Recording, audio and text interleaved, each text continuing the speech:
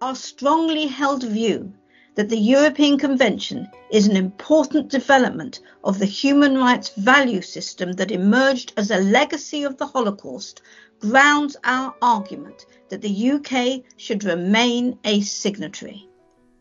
It was written in response to the horrors of the Holocaust. It was a commitment to the values of dignity and justice and respect, the protection of minorities, the vulnerable. The modern human rights framework is a legacy of the Holocaust. And the European Human Rights Convention is part of that. Attempts to prevent such terrible things from ever happening again.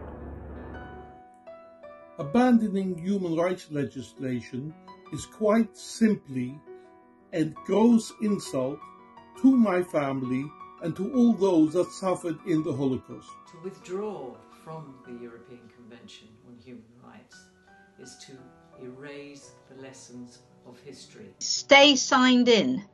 Stay signed in. Stay signed in. So let's stay signed in. Please, stay signed in.